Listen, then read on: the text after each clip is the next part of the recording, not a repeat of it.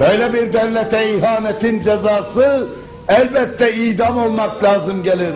Zira hakaik Muhammediye'nin galip İslam aleminin bugün de lideri Türk milletidir. İstikbalde de o olacak.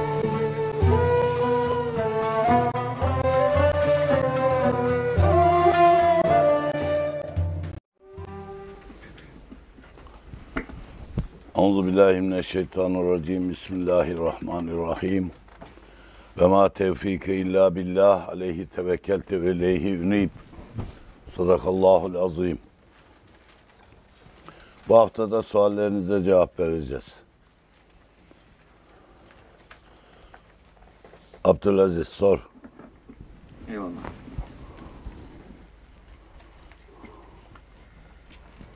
Ee, Kadir Bey, anlı şanlı Osmanlı diyorsunuz. O zaman Kabakçı Mustafa ya da patrona Halil de ne oluyor? 3-5 kişi saraya kafa tutabilir bir durumda. Bu nasıl tenakuz?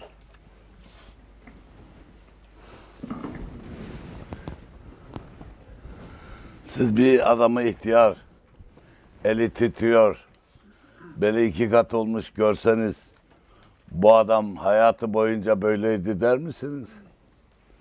Bilirsiniz ki bu onun hayatından bir safadır. Elbette o da çocuk oldu, delikanlı oldu, gençliğini idrak etti. Altı buçuk asırdır Osmanlı asırları. Altı buçuk asır içinde elbette bir takım iniş çıkışlar olacak. Bu kainata hakim bir kanun icabıdır.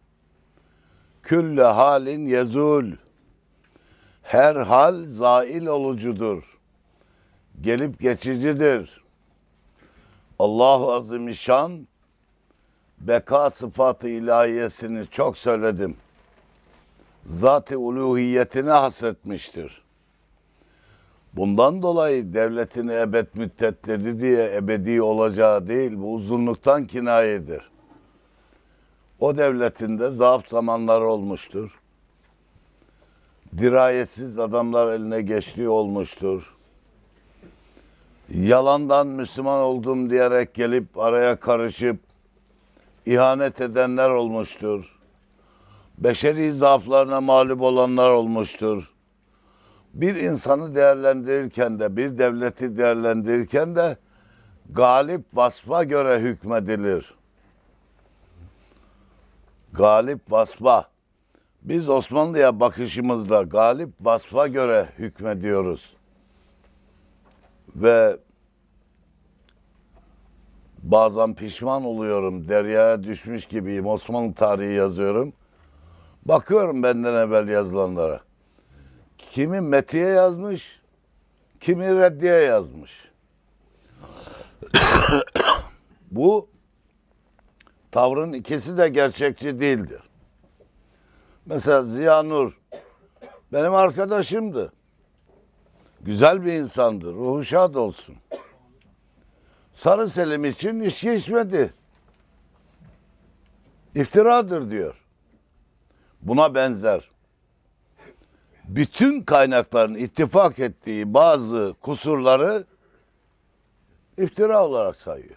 Bu tarihçilik değildir. Arapların bir atasözü var.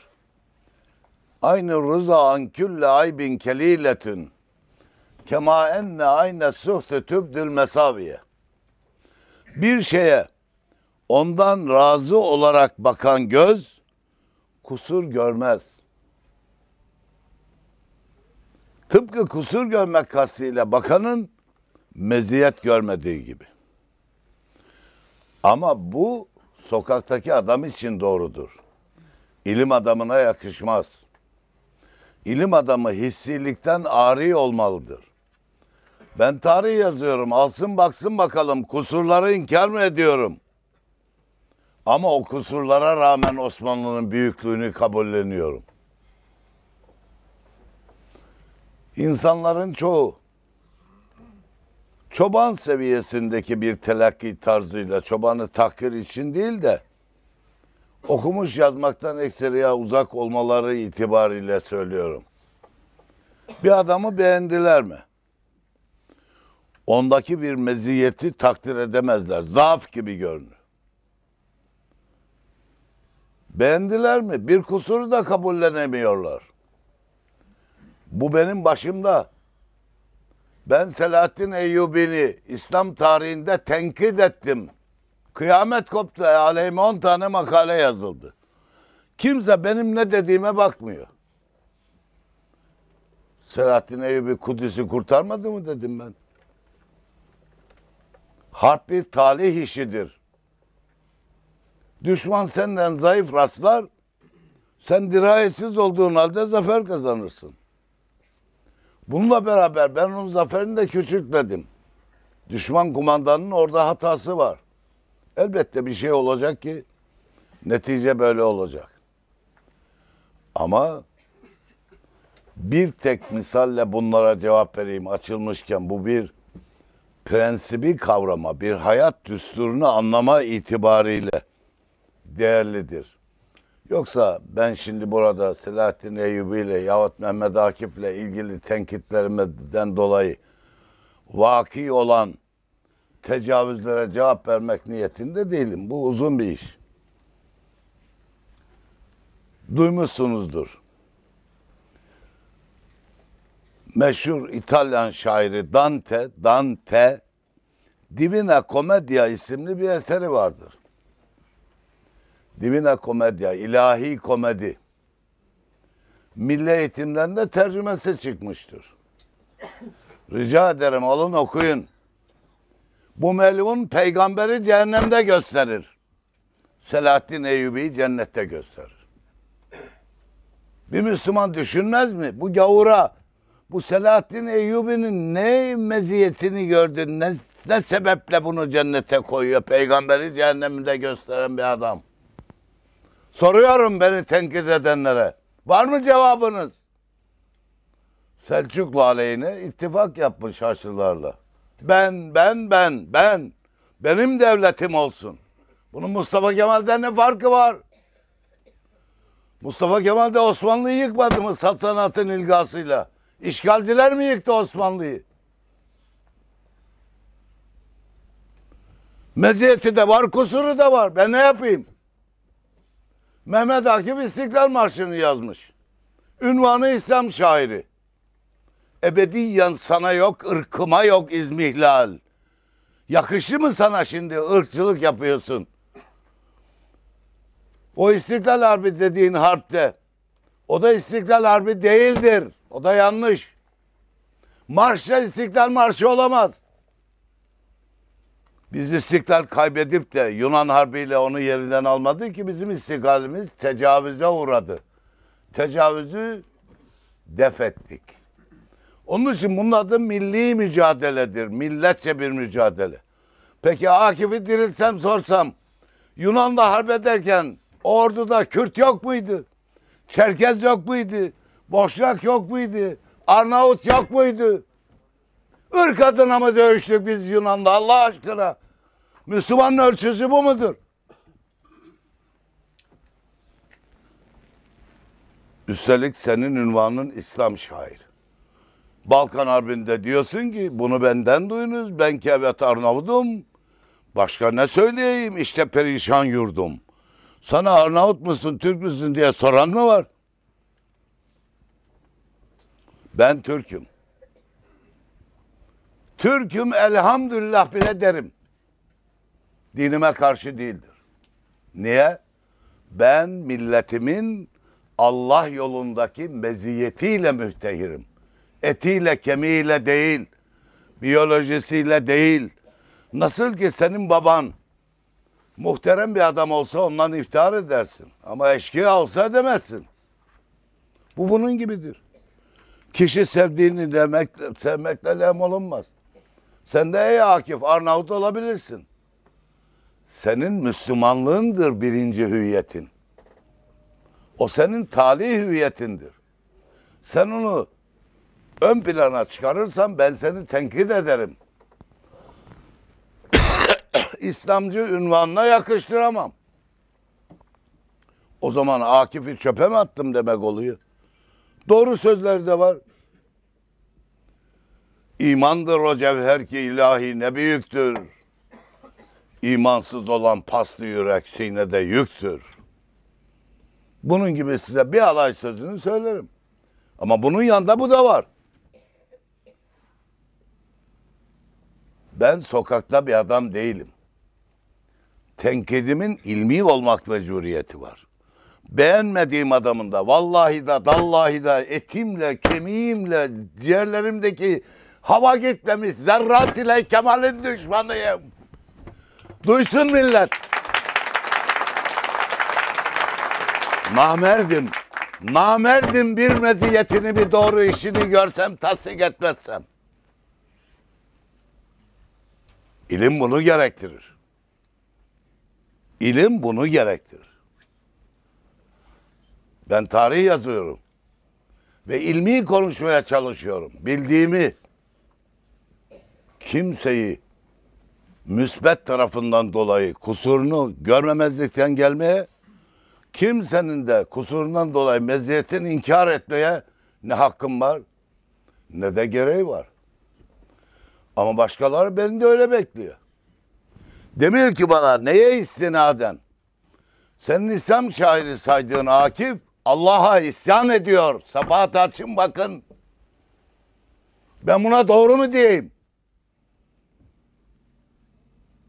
Nur istiyoruz sen bize yangın veriyorsun. Yandık diyoruz boğmaya kan gönderiyorsun. Madem yakacaktın yaksaydın ha zalimleri tuttun bizi yaktın diyor Allah'a. Haşa ve kella. Daha kötüleri de var. Mustafa Kemal metiyeleri de var.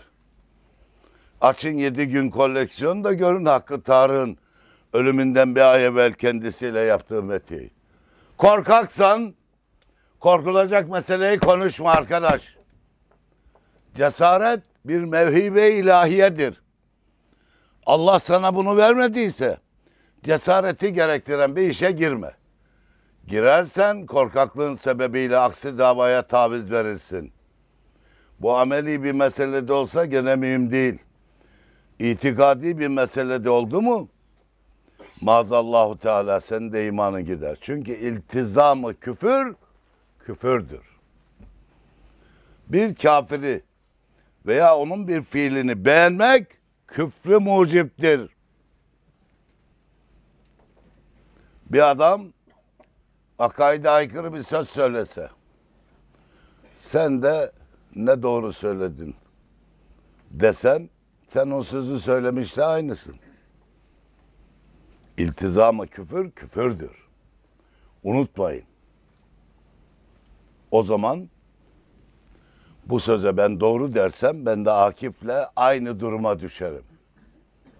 Ha tarih yazmasam, bu işlerle meşgul olmasam, sizin gibi gençleri ben lise talebesiyken Akif'e mevlid okuttum. Hala o mevlidin ilan gazetesini saklarım size gösterebilirim. 1966 senesinde yazdığım Sarıklı Mücahitler isimli kitabımda da milli mücadeledeki hizmetini takdir ettim. Açın bakın. Ama bu doğruyu söylemek başka yerde yanlışı mazur görmeyi icap ettirmez. Madem umum böyle kabul etmiş dokunmayayım. Burada yere açılmışken bir şey söyleyeyim size. Latif Erdoğan televizyonda müteaddit birkaç kere şahit oldum. Diyor ki ben bu Fethullah'ın yanlış bir mecra girdiğini 15 sene evvel fark ettim. E niye o zamandan beri söylemedin şimdi söylüyorsun? Toplumda karşılığı yoktu. Toplumda karşılığı yani sen siyaset adammışsın. Toplum tasdik edeceği sözü söylemeyi bekliyorsun. Bu tavır İslami değildir. O 2012 yılında bugün onu tenkit etmek işime gelmez. Geç olsa madem hakikati gördü, Allah razı olsun. Ama 2012 yılında ben tahriften Fethullah yazarken yazma, etme, gitme diye bana ricacı geldi. 2012'de. 15 sene evvel fark ettim diyorsun. Niye geldin bana o zaman yazma. Burada da hizmet var. Ha toplumu düşündüm. Aşağıdaki masum adamları, asıl o masum adamları kurtarmak için söyleyecektim bu yanlışları. Ama dinlemeyecekler. İsterse dinlesin. Siz zannetmeyin ki Allah yolundaki bir hizmetin ücreti o doğru telkin ettiğiniz doğruyu kabul edenlerin sayısıncadır. Bu demokrasi değil. İslam demokrasi değil. Sen emri bil marufi Allah senin üzerine farz kıldığı için yaparsın. İsteyen kabul eder, isteyen etmez. Ben hiç alakadar değilim. Kim benim sözlerimi tasdik ediyor, kim etmiyor. Kim aykırı düşünüyor, kim kızıyor, kim memnun oluyor. Hiç beni alakadar etmiyor. Benim tek gayem var rıza ilahiye. Allah'ın razı olduğu işi yapmak, Allah'ın razı olduğu sözü söylemek istiyorum. Kul beni alakadar etmiyor. Sizi herkes beğense, bu herkesin beğenmesinden dolayı siz Allah huzurunda kötüyseniz, iyiliğe kalbi olmaz haliniz. Aksi de bunun böyledir. Sayıya itibar eden demokrasidir. İslam'da hakikat beyanı ilahi ile tayin eder. Unutmayın beyanı ilahi ile. Bir tek adam bin kişiye karşı bir dava güder. O davayı şer'i bir delille dayar da ötekiler dayayamazsa o bin kişi Müslümansa o bin kişiye sen haklısın der. Bir kişi galip gelir, haklı çıkar. Çünkü hakikatin miyarı şer'i esaslardır. Dini esaslardır. Başka bir terazi Allah katında geçerli değildir. Sayıyla bir dava hak olsaydı Budizm hak din olurdu. Sayıyla hakikat tayin etmez. Bugün biz içinde bulunduğumuz şartlarda bazı mecburiyetler var. Onu herkes kabullenir. Mümkün olanı yaparsın. Ma la yudrikü küllü la yetrukü küllü. Allahu Azimüşşan'ın nizamında temel kaidelerden biridir. Yani tamamı elde edilmesi imkansız olan bir şeyde elde edilebilen bir cüziyat varsa ondan vazgeçilmez. O cüziyat elde edilir. Tamamı için fırsat kullanır. Zamana talik edilir. Madem tamamını elde edemiyorum bu azından da vazgeçtim denmez. Çünkü aza sormuşlar nereye gidiyorsun? Çoğa gidiyorum demiş. Her büyüğün başlangıcı küçüktür. Unutmayın. Büyük mü küçükten doğar, küçük mü büyükten yumurta tavuk misali gibidir. Onun için küçük günahları küçümsemeyin. O küçük günah gide gide büyüğe inkılap eder. Tekerrürle büyüğe inkılap eder. Bunları niye söyledim? Osmanlı'yı değerlendirirken de ilim icabı, hakkaniyet icabı, İslamiyet icabı odur ki yanlışı da göresin, söyleyesin. Sade methetmekle tarih olmaz.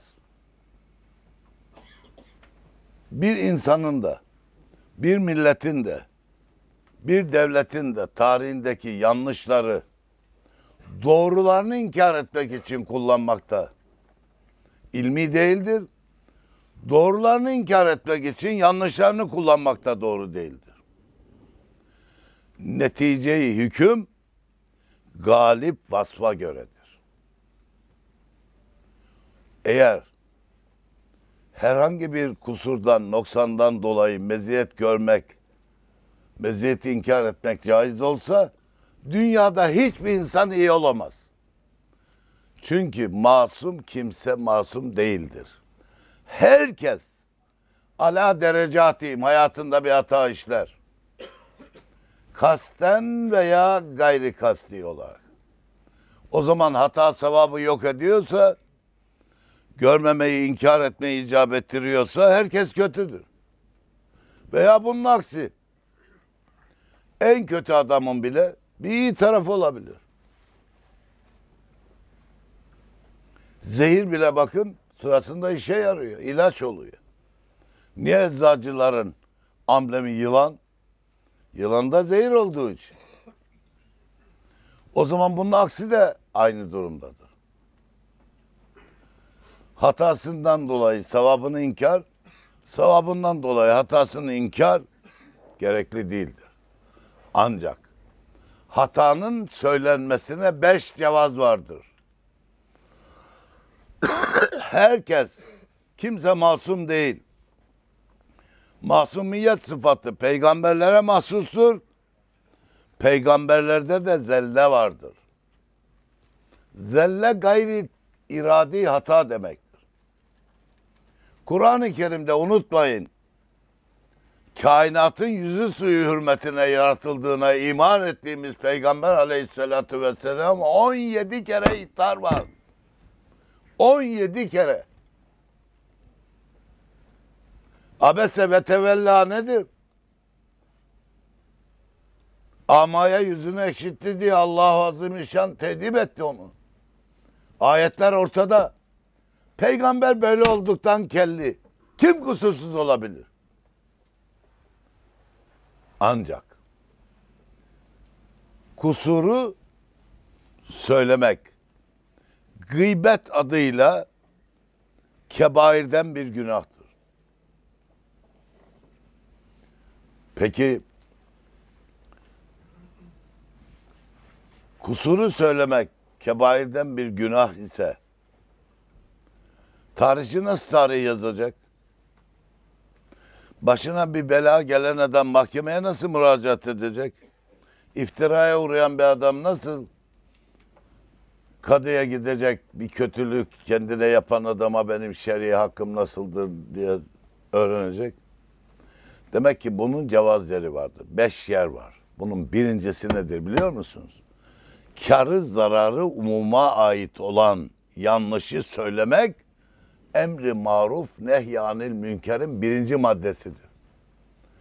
Çünkü umumun menfaati ferdin menfaatinden müreccahtır.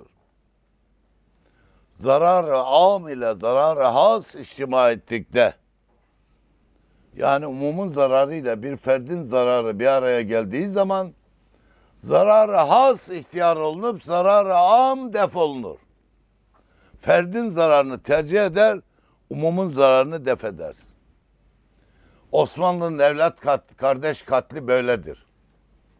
Bir şahsı zarar dide eder, birçok adamın ölmesini önler. Bu İslami bir kaidedir.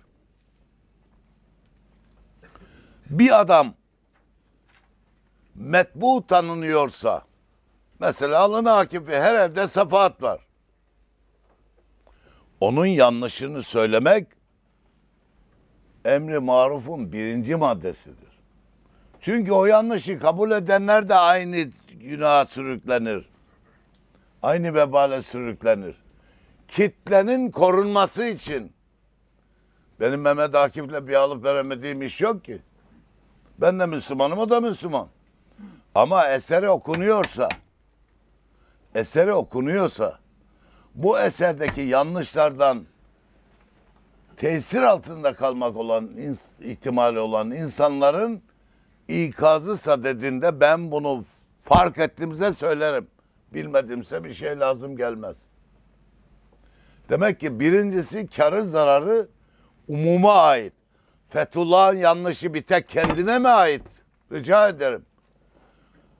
Öyle adamları kendine bendetmiş ki haç bağlasa ondan ayrılmayacak adam var. Bana internetten gösterdiler. İsteseymiş hasımlarını kainatı bir anda alt üst edermiş. Haşa sanki Allah adam. Zaten peygamber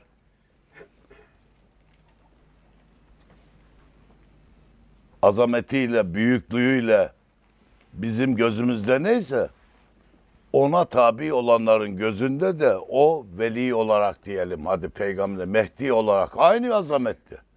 Çünkü istese dünyayı alt üst edermiş ama merhametinden bunu yapmıyormuş. Merhameti vardı da niye akşam sabah beddua ediyor öyleyse?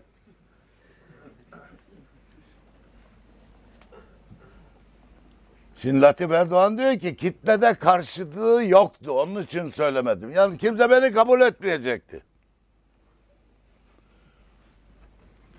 Kimse beni kabul etmeyecekti değil mi? Ben Mustafa Kemal'e meydan okuduğum zaman da kimse beni kabul etmiyordu. Ama ben orta mektep talebesiyken onu tenkit ettim. Bir hafta kovuldum. Bundan dolayı karşılaştığım güçlüklere rağmen kabullenilmiyor diye vazgeçmedim. Kimse sabit fikirleri kolay kolay terk etmez. Einstein'ın bir sözü var. Sabit fikirleri izale etmek atomu patlatmaktan daha zordur diyor. Ben de biliyorum bu kitlenin yarısı bana kızacak. Bak telefonumu iptal ettim. Kapalı 10 gündür. 24 saat sövüyorlar bana. 10 Kasım'da 9'u 5 geçe kenefe git demişim. Ne zaman dedim vallahi hatırlamıyorum. Adam bir yerden telefon numaramı yakalamış. Bu telefon hiç susmuyor. Vallahi ben düşman sahibi olmaktan hiç rahatsız değilim. Kimin düşman olduğuna bakıyorum. Kemalist bana düşmansa iftihar ediyorum. Ama bir Müslüman, halis bir Müslüman bana bir tenkit tevcih ederse orada durup düşünürüm. Acaba haklı mı bu diye. Biliyorum ki ben hakkı temsil ettiğim için batıla meyli galip olanlar bana düşman olacak. Size burada bir vesileyle hikemi bir söz söyleyeyim. Bu hayatta ciddi, madamul hayat yaşadığın müddetçe muhafaza edebileceğin bir dostluğa sahip olamamak, bir dosta sahip olamamak büyük bir mahrumiyettir. Bundan daha büyüğü nedir biliyor musunuz? Bir düşman sahibi olamamaktır. Adam olanın dostu da olur, düşmanı da olur. Herkesi memnun eden adam bu kalemundur, adam değil.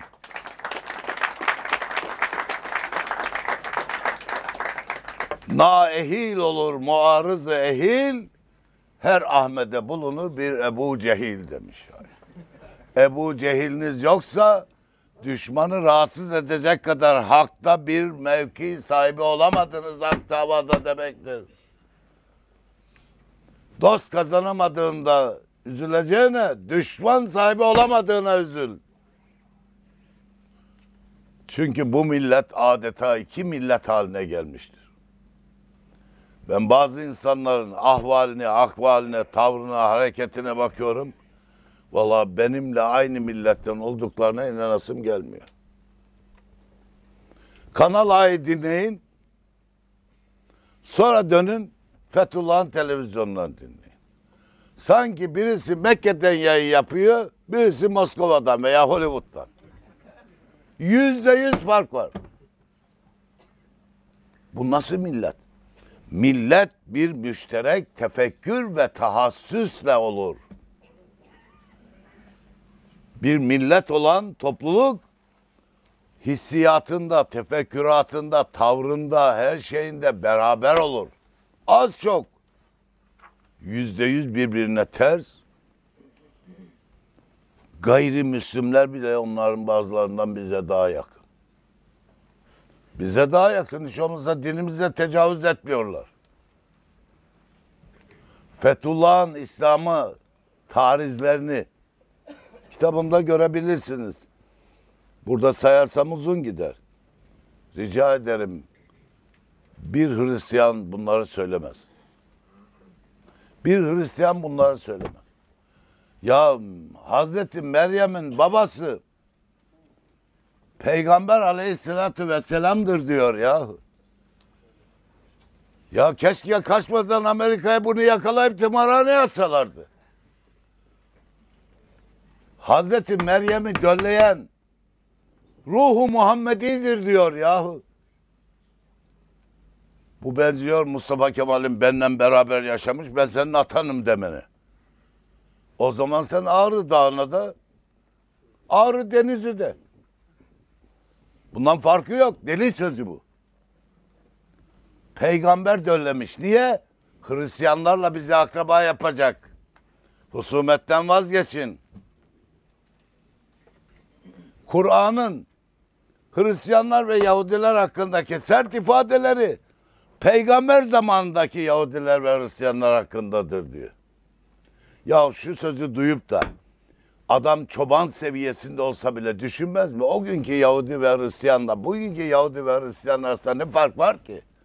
Bugünküler o hükme tabi olmayacak da Peygamber aleyhisselam sen bugünkülerle kardeş olacaksın. Buna mazeret uyduruyorsun. Allah'ın kitabıyla mazeret uyduruyorsun. O kitap çarptı seni. Ateş senin ocağına düştü. Allah belanı verdi. Allah belalarını versin diyor ya. Allah belanı verdi. Kendine beddua etti. Nahak beddua sahibine dönüyor. Zamanımızda en dehşetli misali budur. Allah belalarını versin duydunuz söylüyor. Ben demiyorum onun sözü. Allah belasını verdi. Daha da verecek. Çünkü yalanla peygambere alet etti. Çünkü Kur'an'la oynadı. Kur'an'la oynayanın akıbeti bu dünyada da ahirette değil sade. Bu dünyada da böyle hüsrandır.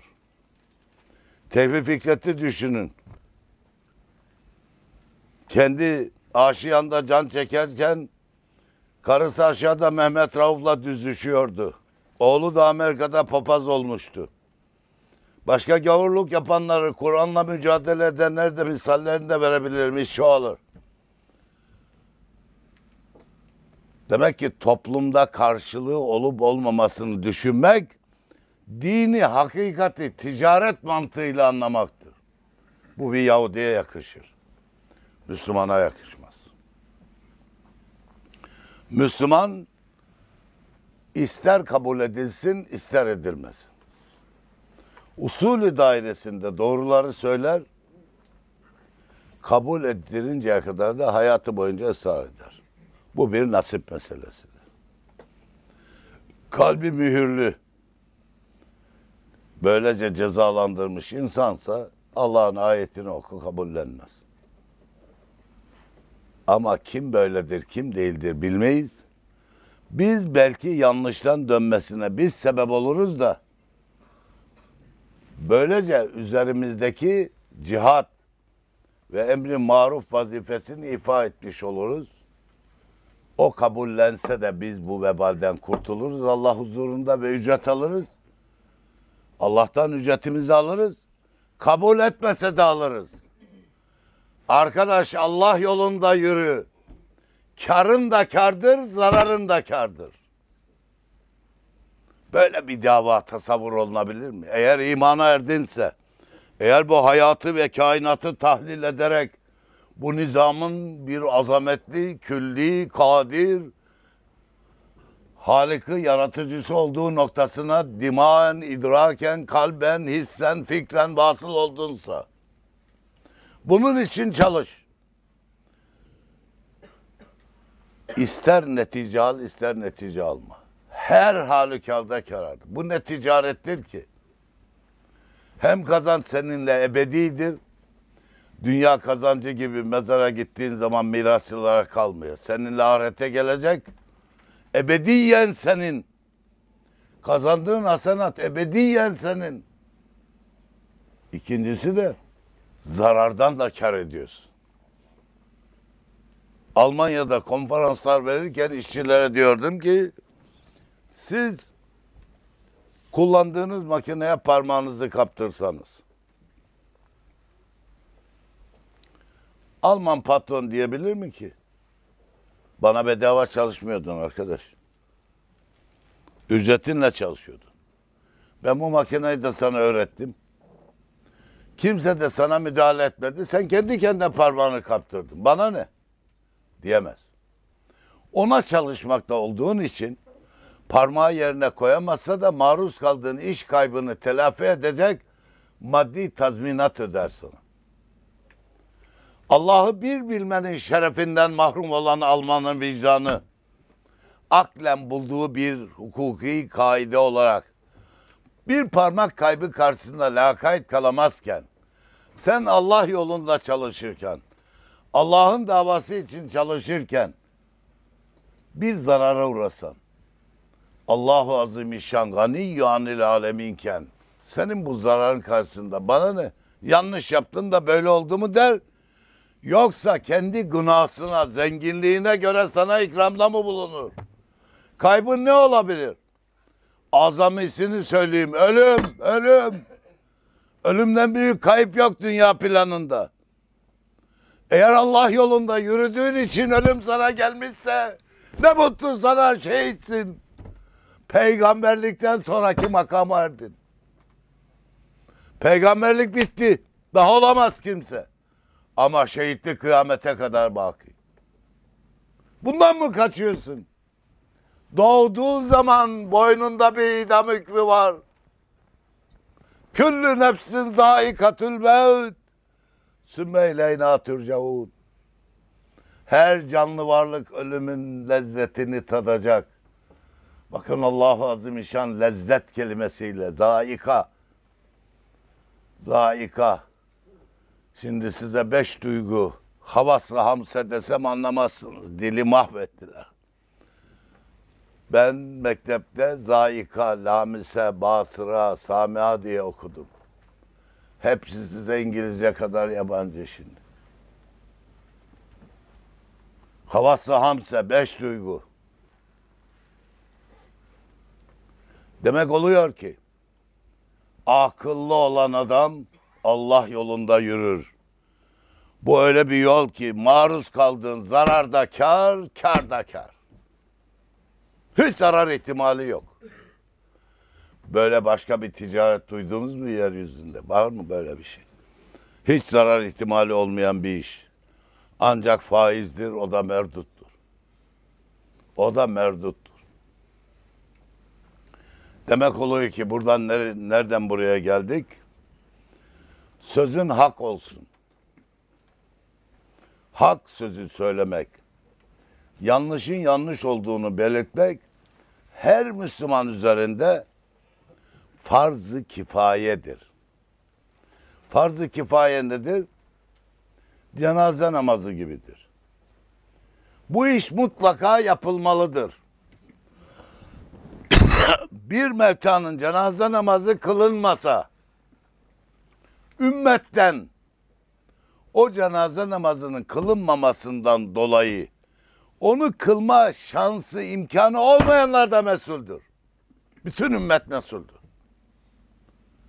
Onun için bazı tarikatlarda her akşam namazından sonra gayip cenaze namazı kılınır. Şu vebalden kurtulmak için. Hindistan'da bir Müslüman ölse de cenaze namazı kılınmasa Türkiye'deki Müslüman mesuldür. Bu iş mutlaka yapılmalıdır demektir bunun manası. Asla yapılmamasına cevaz yok. Emri maruf da böyledir. Ancak bunun hiç yapılmadığı veya kifayetsiz bir surette yapıldığı zamanlarda veya ihtiyacın çoğaldığı bir zamanda yani yanlış yapanın çok olduğu bir zamanda bu farz alel farz olur. Farzlar üstü farz olur. Farza ayin gibi olur. Çünkü kötülük galip, yanlışlar galip. Yanlışlar karşısında normal zamandaki kadar bile emri maruf yapan yok, doğruyu söyleyen yok. İşte o dinin bekasına taalluk eder. Sağlam akaidin devamına müteallik bekasına taalluk eder. O zaman ölüm kalım savaşı gibi ehemmiyet kazanır. Bu zaman öyle bir zamandır. Mühendis mi olacaksın? Doktor mu olacaksın? Muallim mi olacaksın? Ne olacaksan ol. Dinini öğren. O dinin temel prensiplerini hassas bir terazi olarak herkese karşı kullan. Çevrende şahit ola geldiğin, vakıf ola geldiğin yanlışları düzelt. Onun mukabili olan doğruları söyle. Biz 80 milyon adam birer kibrit çöpü alıp da bir noktaya bıraksak orada bir ağrı dağı teşekkül eder. Sen kendini küçük görerek hizmetini küçümseme. O küçük hizmetler eğer mecmuan yapılsa bir kibrit çöpü bir yere topyekun bıraktığımız takdirde ağrı dağı teşekkül ediyorsa bizim emri maruf hizmetimizden de öyle azametli bir yekun senin hizmetinle kabili kıyas olmayacak yekün, külli ve büyük bir netice doğar. Allah cümlemizi kendi emrettiği şekilde yaşayan kullarından eylesin. Başka bir soru. Osmanlı'yı da bu ölçülerle değerlendiriyorum. O arkadaş kusura bakmasın. Eyvallah. Üstadım, selamun aleyküm demiş. Aleykümselam. 27-12-2014 tarihli sohbetinizde İsa Aleyhisselam Şam Emevi Camii Beyaz Minare'ye ineceğini e, siz hurafe olarak e, bahsettiniz. Konuyla alakalı olarak Müslim'in Fiten, Ebu Davud'un Melahim, Taberani'nin Mucemi Kebir ve Buhari'nin Tarihi Kebir gibi hadis kaynaklarında bu hususla alakalı hadis-i şerifler mevcut. Hadis-i şeriflerde Meryem oğlu İsa Dımeşk beyaz minareye inecektir şeklinde bir ifade mevcut. Bu hususla alakalı üstadımızdan bir tavzih rica ediyoruz. Bu vesileyle Rabbimden kendisine sağlıklı, bereketli, uzun ömürler temenni eder, hürmetle ellerinden öperim demiş. Bu dinleyiciye çok teşekkür ediyorum. Ben Cami Ümeyye'de Hazreti İsa'nın bir cuma vakti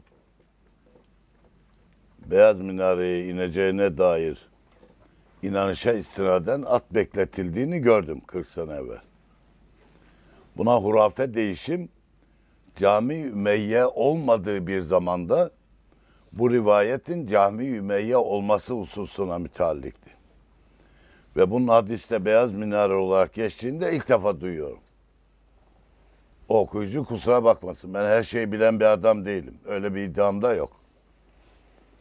Söylediği kaynaklarda bu varsa olabilir ama Şam sözü başka, Cami Ümeyye başka. Yani belki bu hadise istinaden Emeviler minarelerinden birini beyaz yapmışlardır ki buna insin diye. Ama belki daha sonra şimdi yapılan minarelerin hepsi beyaz. Renkli taştan bir minare ne var? Bir şehzade başında burmalı mescit var. Gerisi minarelerin hepsi beyaz. Kireç taşından. Küfeki taşından.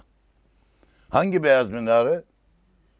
İşin burası. Yani Emevi Camii'ne betahsis noktası hurafedir diye düşünüyorum.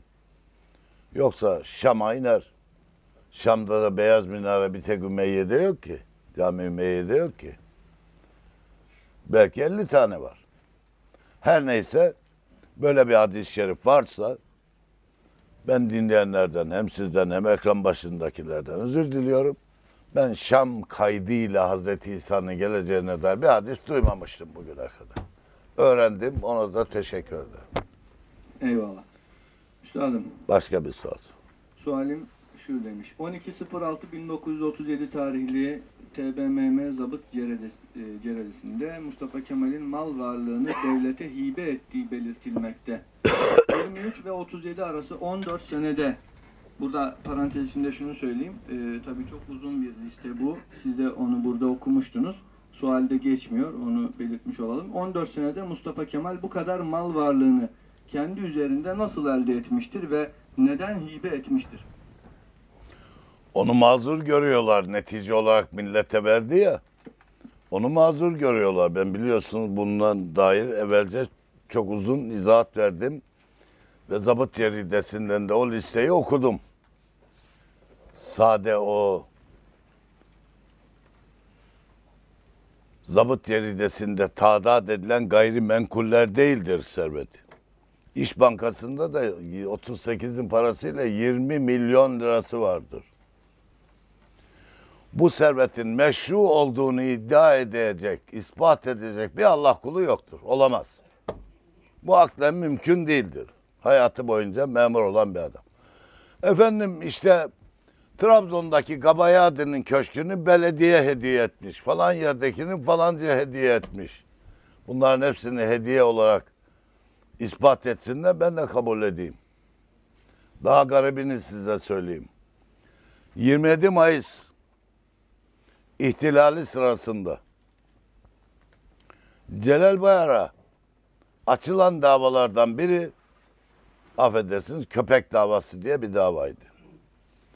Bu davalardan siz gençsiniz o günleri hatırlayamazsınız. O davalardan biri şu sebeple açılmıştı. Afganistan'dan Celal Bayar'a bir cins köpek hediye etmişler. O da demiş ki ben bu köpeği ne yapayım bakamam. Ziraat vekaletine bu köpeği alın ama parayla alın. Bunun parasıyla da bir köy yolunda bir uygun yere bir çeşme yapın. Bu köpeği Reisi Cumhur sıfatıyla kendisine hediye edilen kitabı, ki- köpeği ziraat vekaletine sattı diye bu köpek davası olarak yasada da görülen davalardan biridir. Bunun görüldüğü celselerden biri radyoda nakledilirken ben rahmetli Ali Fuat Başkil Hoca ile beraberdim. Bana dedi ki bunda ne var? Yani Köpeği Ziraat Bakanlığı'na parayla alın demiş de bir defa fiyat koymamış. İkincisi parayı kendine almamış. Bir emre hayır. Çeşme yapın demiş. Ben dedi Fransa'da doktora yaptım geldim. Ali Fuat Allah garik rahmet eylesin. Menşe olarak medreselidir. Paris'e sefaret imamı tayin edilmiştir. Cumhuriyet'in ilk yıllarında Osmanlı'dan kalma sefarethanelerde bir de imam kadrosu vardı. Paris'e sefir e, sefarethaneye imam olarak gittiğinde oradaki sefir demiş ki delikanlı demiş git şurada oku tahsil yap biz kendimiz namazımızı kılarız. Belki de Cumhuriyet'in başlangıcında namazla alakası olmayan bir adam git oku demiş. O da hukuk fakültesini okumuş. Sonra da doktora yapmış. Boğazlar üzerine bir doktora yapmış. O günkü modaya uyarak da doktorasını Mustafa Kemal'e ithaf etmiştir. Doktorası bende var Fransızcası.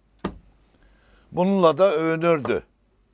Baş başa kaldığımız zaman benim gibi Mustafa Kemal'den şikayet ederdi.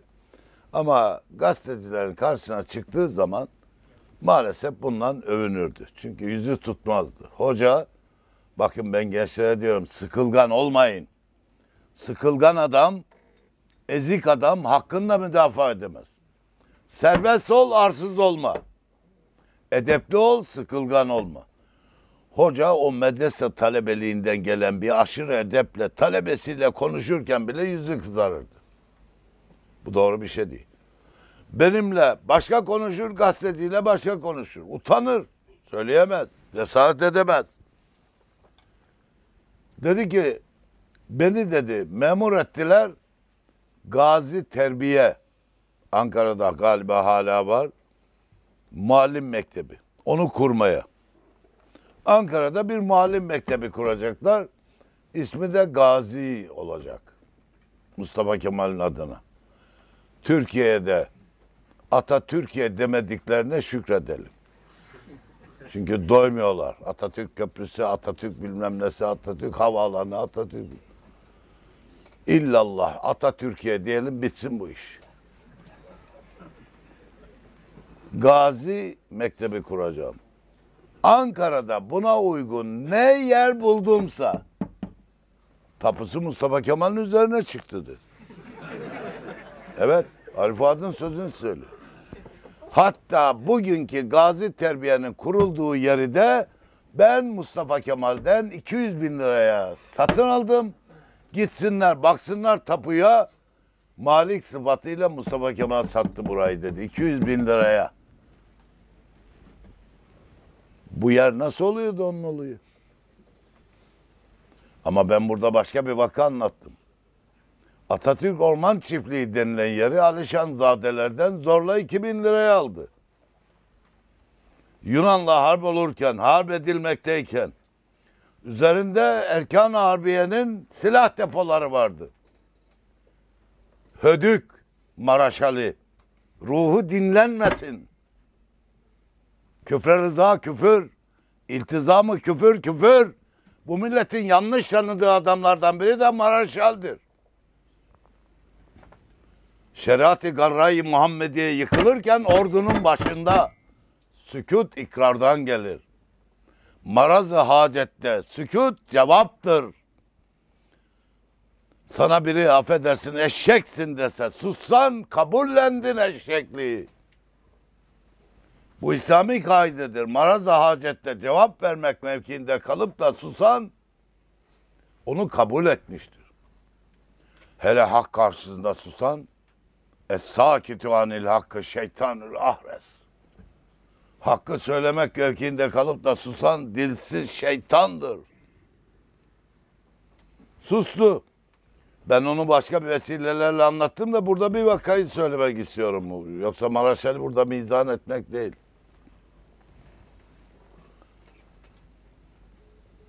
Maraşal'ı çağırdı. Çiftliğin tamamını 2000 liraya almış.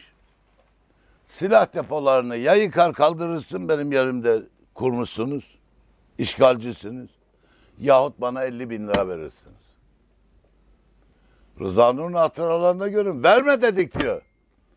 Biz Moskova'dayken o 200 vermiş diyor.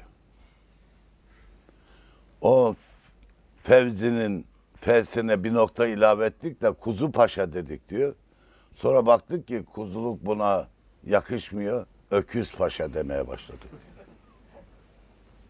Rıza böyle diyor. 50 bin liraya 2 bin liraya aldığı çiftlikteki arazi üzerine kurulu iki tane silah fabrik şeyin deposunun işgaliyesi olarak 50 bin lira, 200 bin lira alıyor.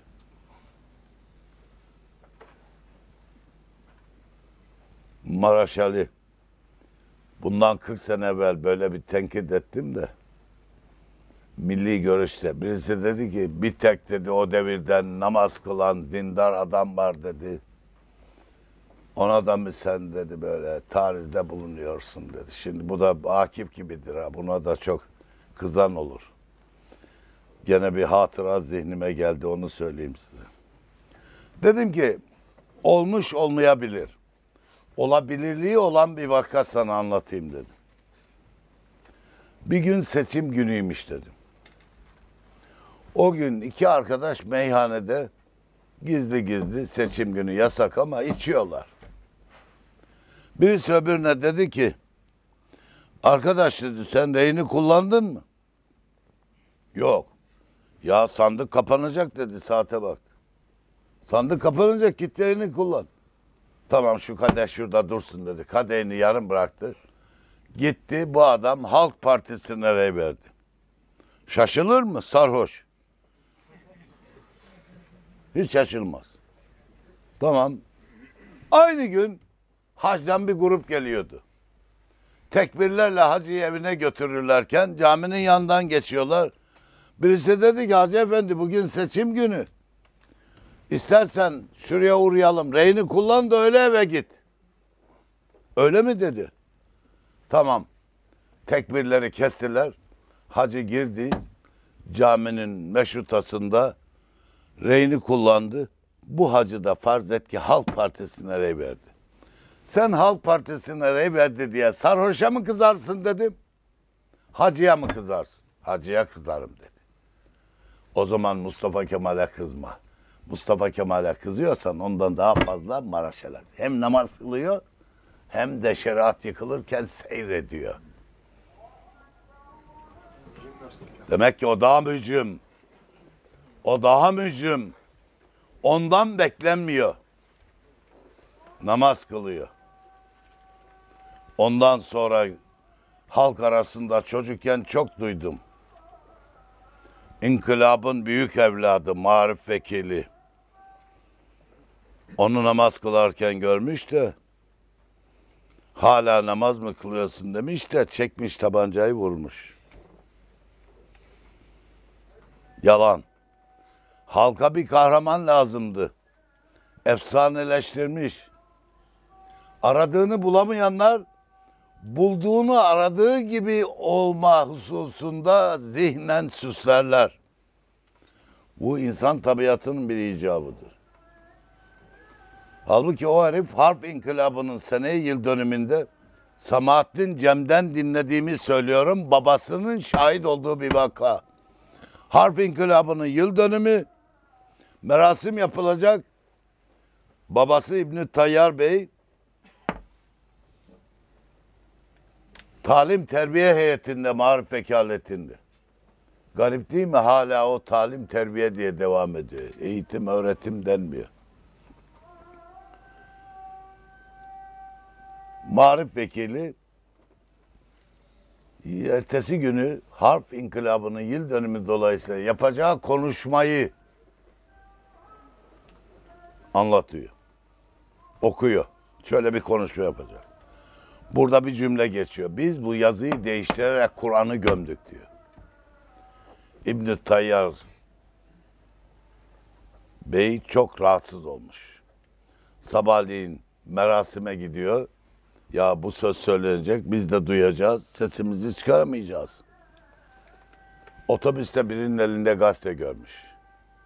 İnkılabın büyük evladı, nedir o mektep var adına şeyde, Balıkesir'de.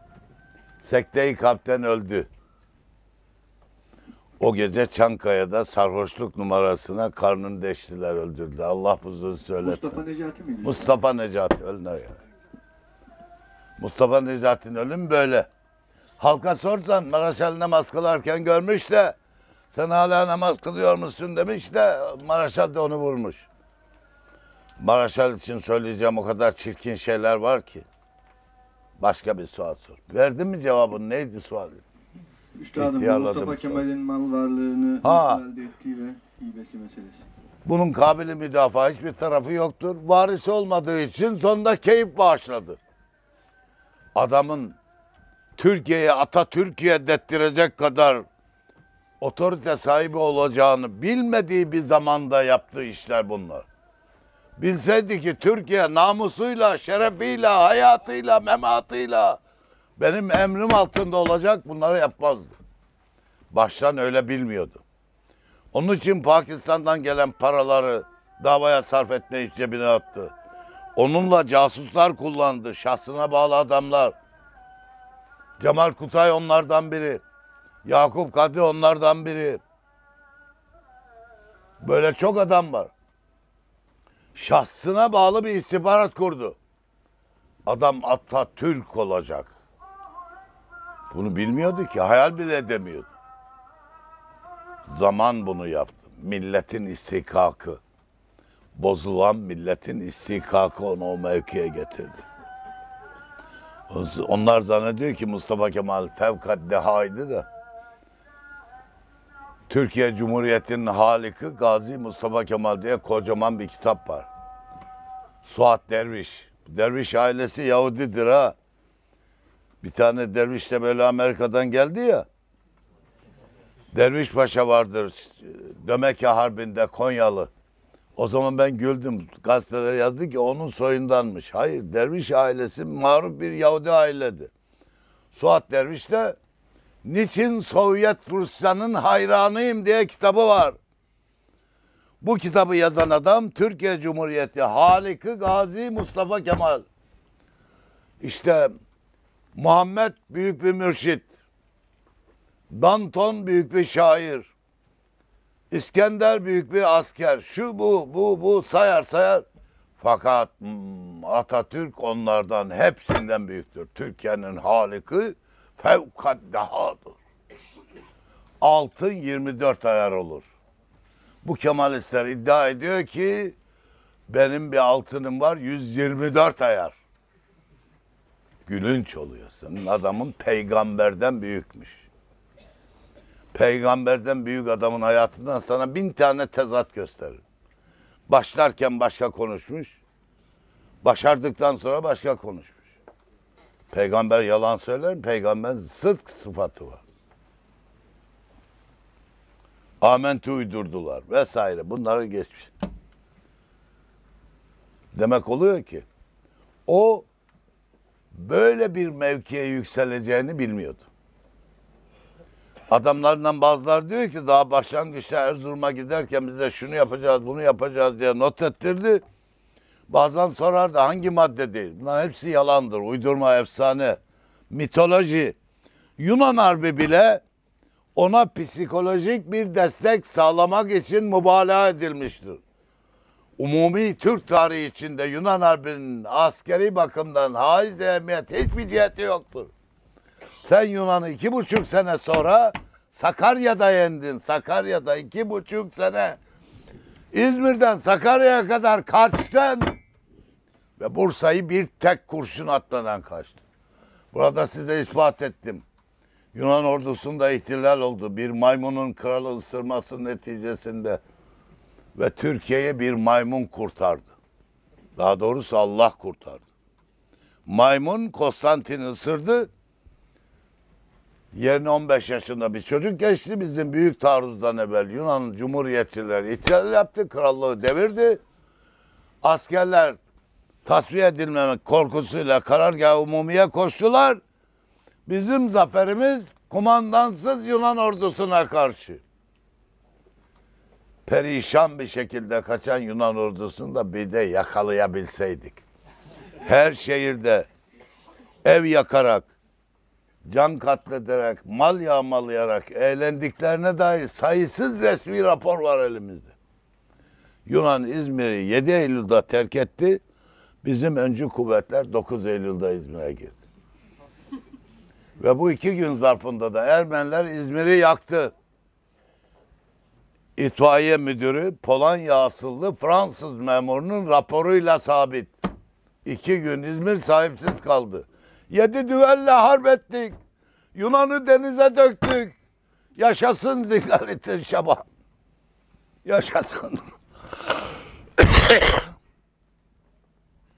Çok palavracı birisi varmış da Zingalitin Şaban'mış da palavracıya bizim Karadeniz'de öyle derler. Bir palavra attım yaşasın Zingalitin Şaban palavracısın demek. Bu kadar palavra hala devam ediyorsa yazık bu millet. Unutmayın yükselmede de rekor bizde, alçalmada da rekor bizde. Biz öyle bir milletiz. Bin yıl kullandığı yazıyı Afrika vahşilerinde değiştirmeye kalkan biri olsa isyan ederdi. Bir- Kimsenin gıkı çıkmadı. Her neyse. Eyvallah. Mustafa Kemal konuşmaktan usandım. Fethullah'ı konuşmaktan usandım. Midem bulanıyor. Eyvallah. Başka bir sual. Üstadım. Çözüm süreci diye Cumhurbaşkanımıza inandık, destek verdik. Lakin çözülen biz olduk galiba. Yakında Öcalan'ı da çıkaracaklar. Eyalet sistemine, başkanlığa doğru gidiyoruz. Cumhurbaşkanımız da istiyor anladığım kadarıyla. Ve bunun için HDP ile anlaşıyorlar çözüm süreci konusunda ve HDP'nin de başkanlık sistemi işine yarıyor anlaşılan. Peki nedir bu başkanlık sistemi ve bize ne kazandırır, ne kaybettirir? Açıklarsanız çok sevinirim. Bak. Dünyada yalnız Türkçe'de emir kipi tek hecedir. Başka lisanlar bilenler mukayese etsinler. Türkçe'de emir kipi tek hecedir. Vur, kır, gel, git, az, kes. Neden biliyor musunuz? Kumandaya kolay gelir. Tek heceli. Emir mahiyetinde bir cümleyi söylemekteki güçlük gibi değildir tek heceli söz söylemek. İstediğin sertlikte de söyleyebilirsin bunu. Biz asker bir milletiz. Allahu Azimüşşan iki millet üzerinde, her varlık üzerinde bir hikmet ilahiyesi vardır. Hiçbir şey hikmetsiz değil. Gözün üzerine kirpiği koydu, kulağa kepçe koydu. Düşünürsen en en hassas hücreler dudaklarda. İnsanlar niye dudaktan öpüşüyor? En hassas hücre. Hemen arkasında en sert hücre diş. Kemikten daha sert. Hepsinin vazifesi ayrı. Bu böyle her yarlıkta, her varlıkta, her varlığın her unsurunda olduğu gibi umumi kader planında milletlerin kaderinde de var. Bize Allah-u Azimüşşan İslam'ın silahşörü olarak hazırlamış. Burada çok söyledim. İslamiyet'ten evvel de biz vurucu, kırıcı, asıcı, kesici, tahakküm meyli olan bir millettik. Çin'e gitmişiz, hükümdarlık kurmuşuz.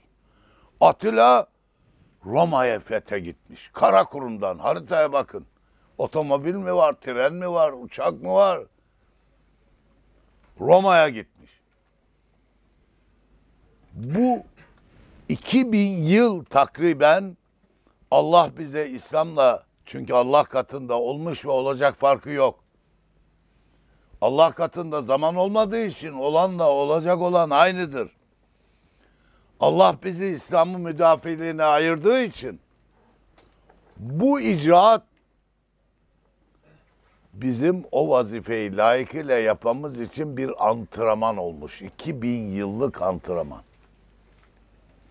Arapları da Allah Azimüşşan irade ilahiyesini Arapça göndermeyi murad ettiğinden 2000 yıl evvelden belagat, fesahat, talakat, edebiyat meyli vermiş. Bunlar daha güzel şiir söyleme, daha hikmetli hitabede bulunma üzerine yarışmışlar. Arapça irade-i ilahiyeyi istihab edebilir bir zenginlik kazanmış. Dünyanın en zengin dili Arapçadır. Hiç kimsenin buna itiraz olamaz. Buradan ne çıkıyor? Kader perspektifinden baktınız mı? Biz cihada memur bir milletiz. İslamiyet'in tarihi 1400 küsür sene mi? Hulefai Raşid'in peygamber devri 40 sene.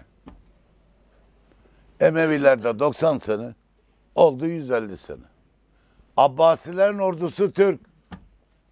Ondan sonraki devletlerinde Kahir ekseriyeti, Türk İslam müdafiliği, Selçuklular, Osmanlılar en az bin yıl. Rica ederim dünyada bir millet var mı? Toprağa bir imparatorluk varisi olarak basın. Toprağa böyle büyük dünyada hiçbir milletin yapamadığını bir milletin evladı olarak basın. Kimse bin yıl süper güç olamamış. Maverayı Paul Britanya İmparatorluğu.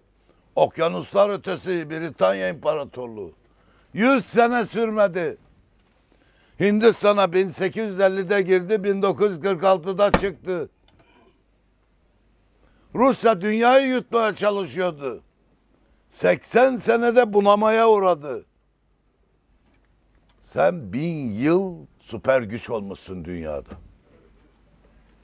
Böyle bir millet. Kendine güvenen, itimadı nefsi tam olan milletler düşmandan korkmazlar. Mustafa Kemal'in çok adam öldürmesi bu noktadan değerlendirilirse onun haleti ruhiyesi ortaya çıkar. Yiğit adam düşmanım bana bir şey yapamaz der. Korkak adam düşmanını en küçük fırsatta öldürmeye kalkar. Çünkü korkuyor kendinden. Sen yiğit bir milletin evladısın. Çeşitli sebeplerle burada anlatması uzun süre ezan okundu. Günler kısa. Çeşitli sebeplerle o azameti kaybettin. Ama sen bunu bir defa yaptınsa o istidat sende var. Bir daha yaparsın. Bir daha yaparsın. Bir tüccar başarılı olduysa yeni girişeceği bir işte o başarı onun için psikolojik bir kaynaktır. Ama daha evvel başarısız olsa yeni bir işte ürkek davranır. Her başarı müteakip başarının psikolojik, manevi sermayesidir, mesnedidir. Biz böyle bir milletiz. Böyle bir milletken, ümmet şuuruyla yaşarken, Allahu Azimüşşan'ın kainatta beka sıfatı ilahiyesinden, masum Allah'tan hiçbir şeye bir nasip vermemesi sebebiyle kainatta ebedi olan tahavvülat ve tebeddülat icabı bir sukut yaşadık. Bizim sukutumuz davamızın hasımları için itila oldu. Şu anda bakın, dünyanın bir yarısı aydınlık, öteki yarısı karanlık. Karanlık nöbeti bu yarıya geldiği zaman her dakika bu böyle dünyada. Öbür yarı aydınlık olacak. Kuzey yarı küre kış, güney yarı küre yaz. Kuzey yarı kürede yaz olduğu zaman güney yarı kürede kış olacak. Kainatta zıtlar bir tenazür halindedir. Birbirinin zıttı olan şeylerde, hallerde tahavvülat vardır. Bu ebedi bir kanundur. Ne gece daimi, ne gündüz daimi, ne yaz daimi, ne kış daimi. Bu tahavvülat icabı, ilahi kanun icabı, tabiat senede bir defa kışı görürken, ümmet de zaman zaman kışı görmüştür. Moğol istilaları ümmetin bir kışı olmuştur. Haçlı seferleri bir sonbahar olmuştur. Kemal'in inkılabı en şiddetli kış olmuştur ümmet için. Çünkü bizim Osmanlı'nın dağılmasıyla İslam dünyasının aksamı muhtelifesi de birer diktatörün pençeyi kahrına düşmüştür. İslam dünyası Osmanlı'dan sonra bir rahat yüzü gören yoktur. İhtilalden ihtilale, diktatörden diktatöre sürüklenmiştir. Başsızlık belası yaşanmaktadır. Şimdi bu baş teessüs ediyor. Bu baş teessüs ederken Kemal'in ırk üzerine kurduğu devlet yıkılıyor. Mesele buradadır. Sen bir imparatorluk varisiyken onun bakiyesinden kurduğun devleti ırk üzerine kuramazsın. Ne mutlu Türk'üm diyene. Ah bunu diyen bir de Türk olsaydı keşke. Zaten böyle demezdi. Ne mutlu Türk'üm derdi. Diyene ben diyemiyorum demek. Peki sen bir Kürde ne hakla ne mutlu Türk'üm dettiriyorsun? Sana onun Müslüman kardeşin olması yetmiyor mu? Dini kaldırıyor, yerine bir şey koymak istiyor. Irkı seçiyor. Felaket böyle başladı. Şimdi rica ederim aranızda Türk olanlar düşünsün. Kürtler ekseriyet olsaydı ben Türk milletinin ağabeyliğini hiçbir Müslümanın reddedeceğine ihtimal vermiyorum. İslam dünyasında. Başrolde oynamışlar. Allah o rolü nasip etmiş. Yani niye peygamber Türk kavminden çıkmadı diye ben hayıflanacak mıyım? Allah'ın tercihine mi karışıyorum? Allah Allah. Allah'ın işine mi karışacağım?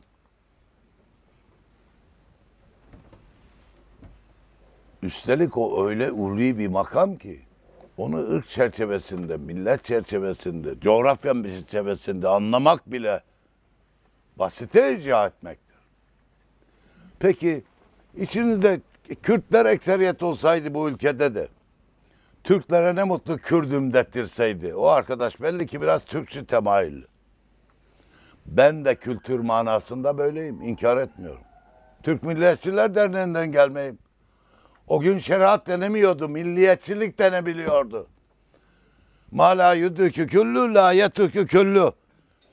Milliyetçilik diyebildiğim zaman milliyetçilik dedim, dincilik diyebildiğim bak şimdi bağırıyorum ben şeriatlıyım sapına kadar. Elhamdülillah. O zaman bağırsaydım ne olurdu biliyor musunuz? Şimdi toprağın altı lale soğanı dolu. Rica ederim lalenin beyni mi var? Mayıs ayını bekliyor topraktan çıkmak için. Kanun ilahi bu. Hayatın kanunu bu. Eğer lale soğanları şimdi başını kaldırsa üzerlerine kar yağar çürür. Havanın ısınmasını bekliyor. Size burada anlattım. İpek böceği lahana tohumu kadar. Gözle zor görülü bir tohumdur. O tohum bütün kış atıl durur. Cansız bir şey gibi.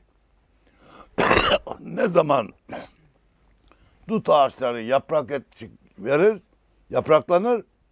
O kur, şeyin tohumun içinden bir kurtçuk çıkar. Fesubhanallah bu kurtçuğun beyni mi var da gıda olacak dut yaprağı teşekkür ettikten sonra tohumdan çıkıyor. Daha evvel çıksa açlıktan ölür.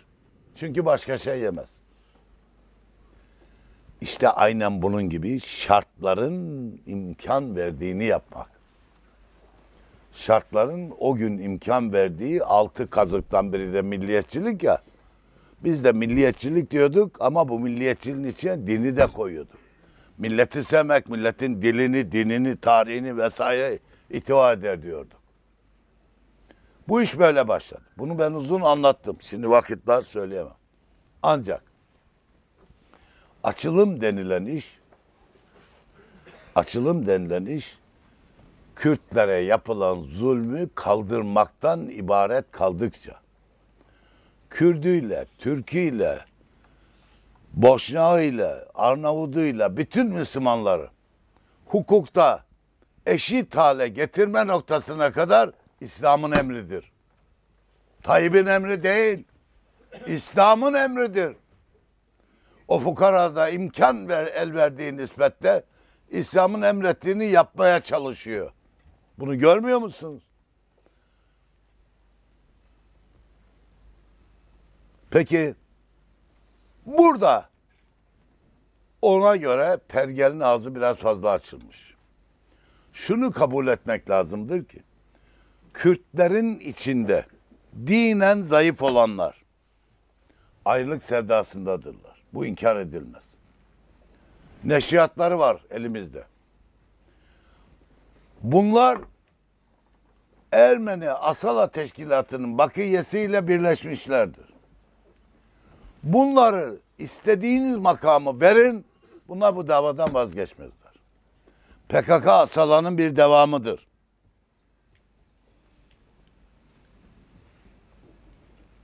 Bunlar ordu içinde Kazım Karabekir'in koyduğu 3000 Ermeni çocuğu vardı.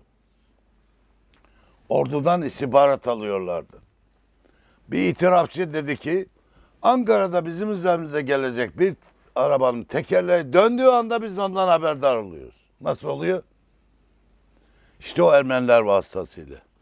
Kazım Karabekir'in kızı televizyonda dedi ki babamın orduya yerleştirdiği Ermeni yetimlerinin çocukları da subay olmuş. Bayramlarda gelip elimi öpüyorlar, anamız diyerek bana hürmetlerini sunuyorlar. Şimdi siz anlayın. İçeriden bunlar istihbarat alıyorlardı. Çünkü Asala'nın bütün kadrosu PKK'ya katılmıştır. Bunu delilleriyle ben şimdi yazdım Ermeni meselesinde. Abdullah Öcalan da anadan da Ermeni yetimi, babadan da Ermeni yetimidir. Onu da bu işe memur eden Asala'dır. Sebeplerini uzun anlattım. Şimdi vakit yok. Delilleriyle yazdım. Bunlar asla razı olmazlardı.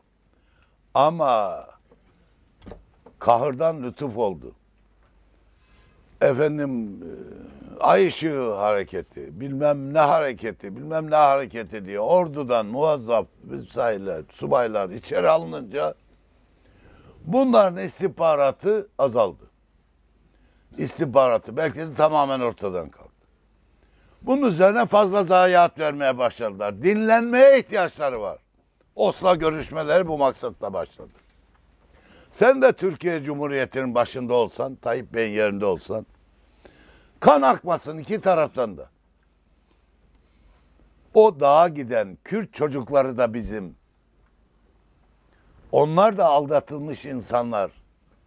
Onların da hem maddi hem manevi yardıma ihtiyacı var. Onlara diyorlar ki sizi Türkler zorla Müslüman yaptı. Sizin aslınız Zerduş idi. Zorla domuz eti yediriyorlar. Fotoğraflarını koydum kitaba bakın. Onların ağına bir defa düşen onların esiri bir daha çıkamaz. Kaçsa yakalanırsa kurşuna dizerler. İşte bu gibi bir zümre bereketlensin ki bu çok azınlıktır. Çünkü ülkenin en dindar kısmı Doğu Anadolu'dur. Mustafa Kemal'in dini tedrisatı yasakladığı hengamda Karadeniz'de bir tek of. Dağlarda, bayırlarda okuttular, hafız yetiştirdiler. Hiç mesailerini eksiltmediler. Şark'ta da Kürt hocalar, mollalar bu işe devam ettiler. Bu sayede bugünkü dini vaziyeti, sermayeyi, varlığı buna borçluyuz. Dindar olan Doğu Anadolu halkı Kürdüyle, Türküyle, Zadasıyla bu davanın peşinde değildir. Ama devletten yana olsa PKK zulmediyor. PKK'dan yana olsa devlet zulmediyor. Bir de onların halini düşün. Sen orada yaşasan ne yapacaksın? Çoklarını devlet koruyamıyor. PKK'ya karşı tavır koyduğu zaman köyü baskına uğruyor. Ne yapsın o adam o garip? Bunları da bu gerçekleri de görmek lazım. Şimdi PKK aslında istemiyor ki Kürtler şikayet mevzu olan meseleler hallolsun da rahata ersinler. Çünkü o zaman propagandası müessir olamaz. Ama dinlenmeye ihtiyacı olduğu için iki ileri bir geri buna razıymış gibi geçiniyor. Abdullah Öcalan'ın da ben kitabından nakiller yaptım. Komünist, materyalist, dinsiz, dinsiz manifestosu var. Kitabının kapağını koydum. Bugün doğru yolda. Kurtulurum belki diye mi? Bu iş sökmüyor, aklı başına geldi diye mi? Ben onun gönlünü bilemem.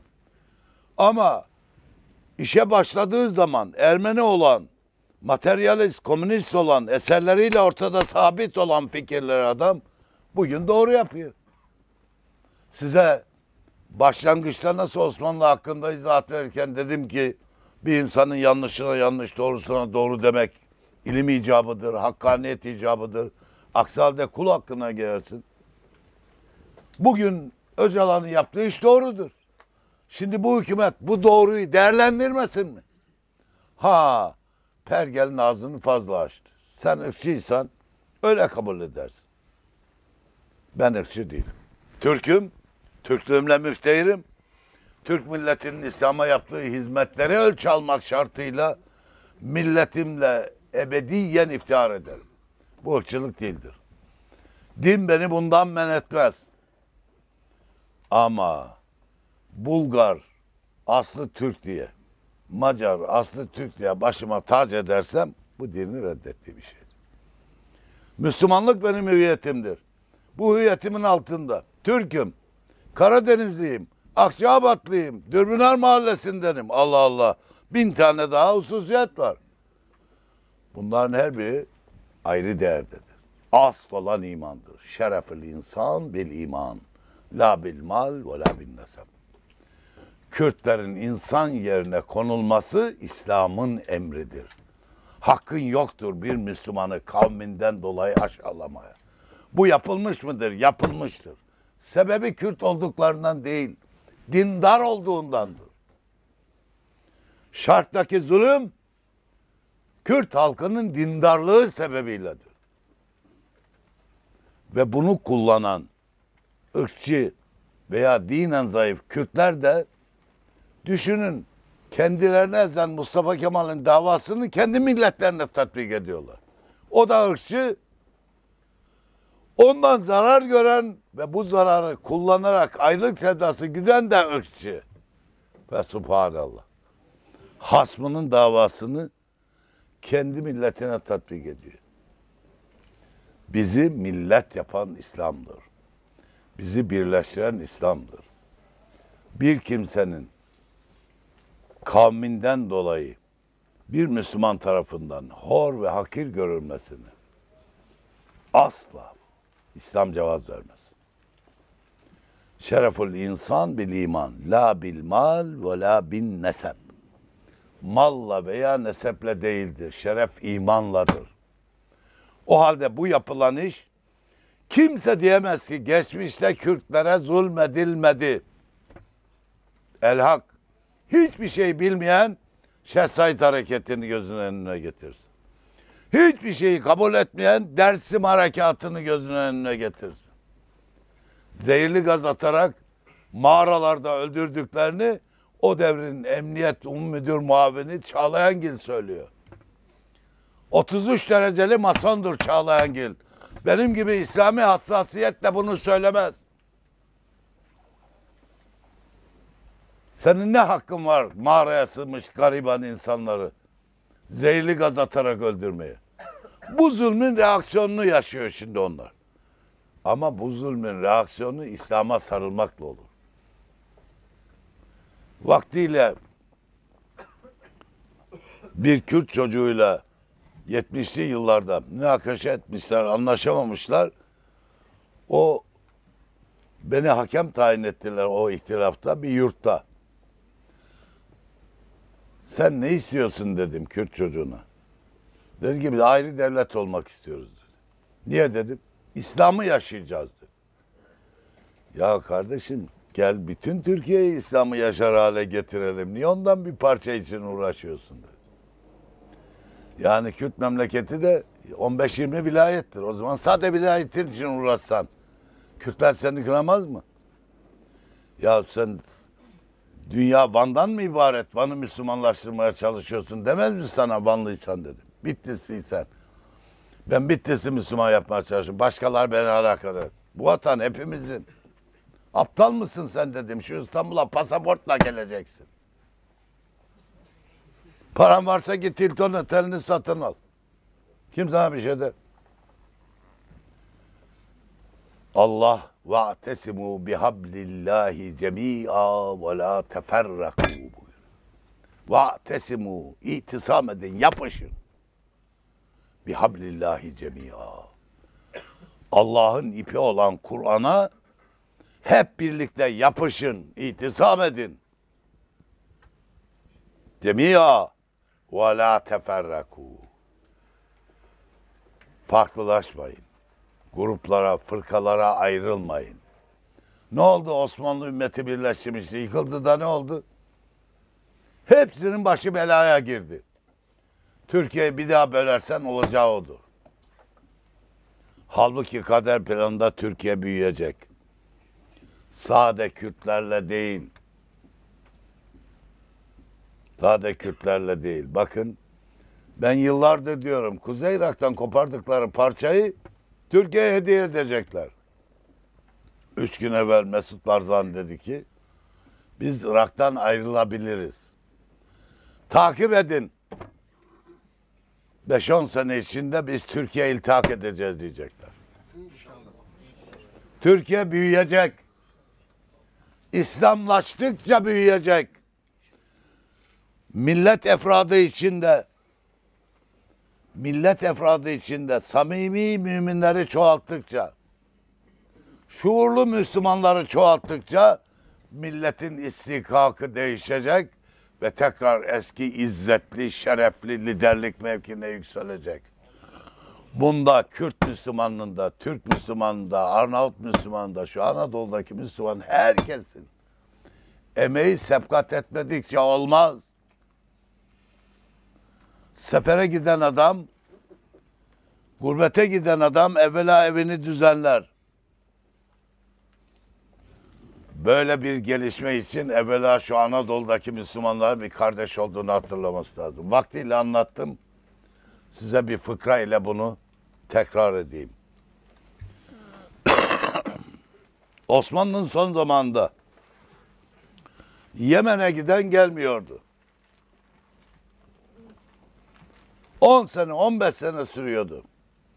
Yemen Şia'nın Zeydiye kuluna, koluna mensup olduğu için Osmanlı hakimiyetini kabul etmek istemiyordu.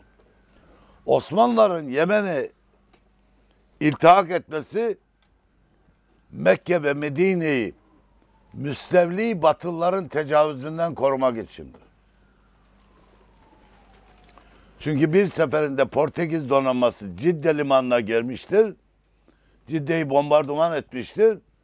Mekke'yi alarak Kudüs'te takas etmek istiyordu Portekizliler.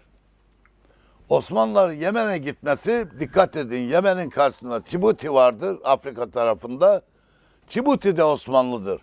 Boğazı tutmuştur. Kızıldeniz'in boğazını. Bu stratejik bir zaruretledir.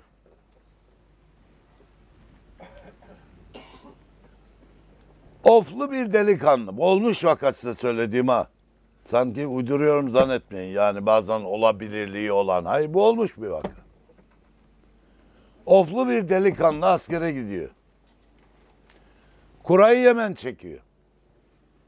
10 sene sonra İstanbul'a geliyor bu Selimiye kışlasında tezkeresini bekliyor. O sırada da yeni acemi bir kısım asker geliyor. Bir kısım acemi asker. Onlar da kura çekecekler, onu bekliyorlar. Bu yeni gelen bir askerle bu Yemen'den gelen oflu delikanlı bir karavana taşımada denk geliyor. İki kişi taşıyorlar karavanayı omuzlukla. O yeni askerin oflu delikanlı gözünden, kaşından tanıyor gibi. 10 senedir ben memlekette değilim. Nereden tanıyayım diyor. Böyle hesap kitap yaparken sormak istiyor ona. Ula deyik koy bu karavana aşağı bakayım diyor. Koyuyor. Sen nerelisin diyor. Adam diyor ki Trabzonluyum diyor. Trabzon neresindensin diyor.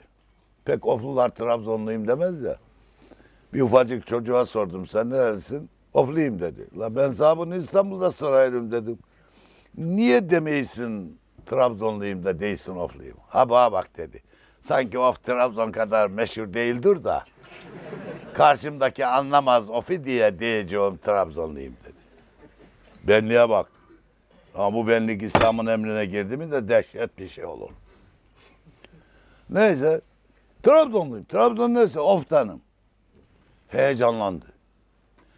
Of'un hangi köyündensin dedi. Dedi ki Çıparuksa'dan.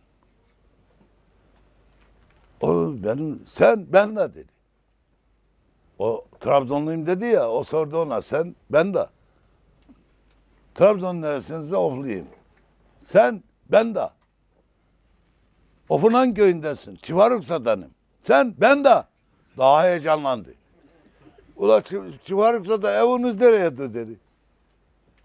Mezarlığın başınadır dedi. Ula ana ana da Mehmet midir dedi. He senin benim de babanın adı. Ananın adı hava mıdır? Benim de ay kurban olayım sana biz kardeşmişik dedi. Sarıldı ona. Meğer küçük kardeşi büyüdü. Onun da askerliği sırası geldi. O askere gelmiş 10 sene sonra küçük bırakmış. Bu millet o iki oflu delikanlı gibi kardeşini hatırlayıp sarılacak birbirine. Kimse Allah kavmini sormayacak. Böyle bir sual yok ahirette. Sorulacak sualler bellidir. Allahu Azimüşşan milletimiz hakkında kötülük düşünenlerin emellerini kendi aleyhlerine mahkus eylesin. Allahu Azimüşşan bu nimet-i imaniyenin bize kadar intikalinde hizmeti sebkat etmiş olanların cümlesin ruhlarını şadan andan eylesin. Allahu Azimüşşan bu nimeti imaniyenin kıyamete kadar devamına medar olacak amellerden bizlere de belagan mabela, inamı, ihsanı ikram eylesin. Allahu Azimüşşan milletimizi eski şerefli mevkiine ihsal buyursun. Bizleri de böyle bir amelde hissemend eylesin.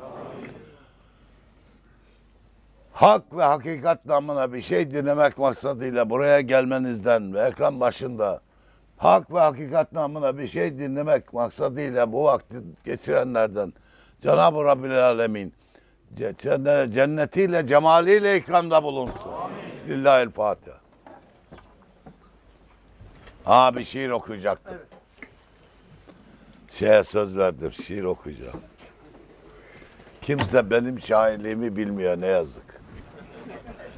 Oğlum şairlerinizin fanlarından birisi öldü. He? Şiirlerinizin fanlarından birisi öldü. Şiirlerinize bayılıyor.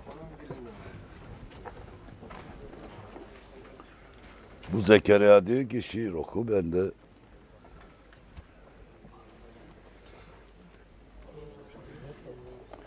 Baştan bunu her derste bir tane okuyacağım. Cemre. Şimdi düşecek Cemre çok kalmadı. Birçok lafzın manası muamma kumkuması ve adeta bir umman zerrede nihan olan Sır alemine pancur, sahir elinde menşur. Kelimeler gitti tabii gürültüye. Menşur, prizma, sahir, sihirbaz. Bunlardan biri Cemre.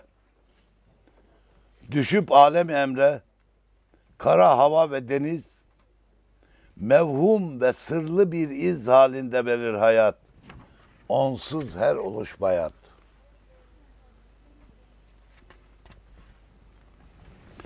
Farz-ı muhal şu zaman kaldırılsa aradan.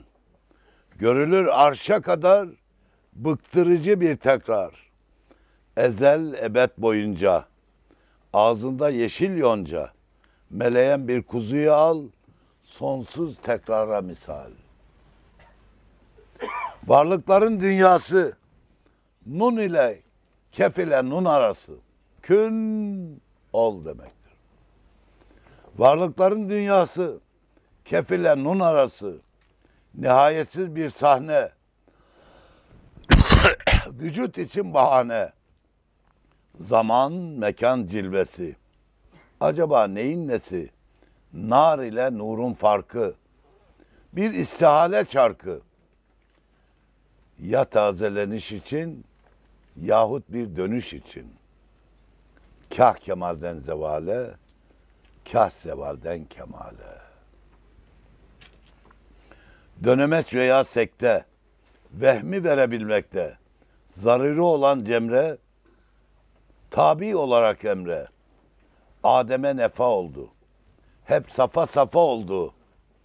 Diriliş ve hareket, doldu alemi kesret, vakti merhumlar ile lakin zıtlıklar bile meknusken birbirini faş edip diğerini idraklere sunarken mesela ölüm derken fena beka cem olur iki zıt tevem olur.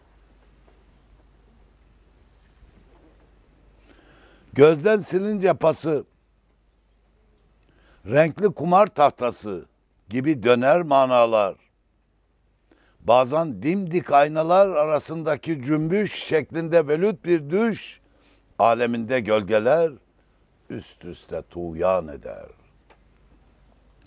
İddia diye vücut, ondan istiğfar sücud, ruhiyetin ufku tevhid, her zi idrak muvahhid. Cemre, met cezir çarkı, vehimden doğan farkı fırlatınca sonsuza açılı verir feza. Vahdet sırrı gülümser, insan böylece girer muhteşem bir iklime ki buna kapı cemre. Onu içmiş bedenim, ana rahminde benim, ana rahminde benim.